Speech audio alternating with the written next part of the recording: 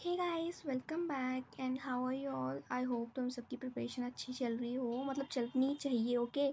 And guys वाली video जी के लिए like you wanted a video on it so here am I okay तो अभी हम लगाते हैं. We have three weeks okay like last वाला वीक तो we gonna give it two mocks like first वाले दो वीक मांग लो. मतलब मान लो तुम तो फ़र्स्ट वीक में we will physics chemistry and bio For physics, we're gonna do optics, sound, motion, thermo, electromagnetism. Then we are going for chemistry, acid base, carbon compounds and metal and non metal plus consultation terms उससे question आते हैं and bio में I am not asking you to do all the chapters just ये तीन chapter कर लेना cell tissue and disease वाले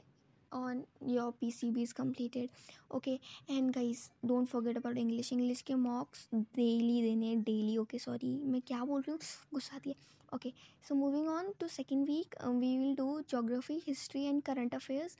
like current affairs तो आप start कर लेना जिन्होंने नहीं की है फॉर जोग्राफी में मैं कुछ चैप्टर्स के नाम बता देती हूँ जैसे कि earth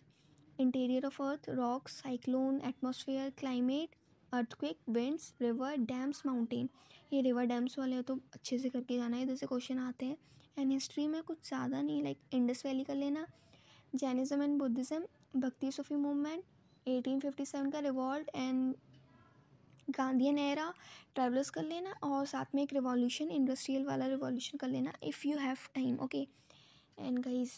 p y qs लगाना जो जो चैप्टर होता जा रहा है, उसके बाद पी वाई क्यूज़ लगाना एनालाइज करना। तुम उस चैप्टर में किस टॉपिक में वीक हो एंड तुम्हें लगता है कि उस टॉपिक में और तुमको स्ट्रॉन्ग करना है, जो study okay and guys we need to work hard like just imagine you yourself in a uniform okay and English के mock test maximum you need to like fifteen mocks लगा लेना इन दो वीक्स में and minimum दस तो लगाना ही लगाना okay and that's it for the video if you want my updates on how I am doing just I will tell you in another video okay? So see you soon. Bye. And guys if you have any doubt just feel free to comment down. I will pakka wala reply okay? So it's a final wala. Bye bye bye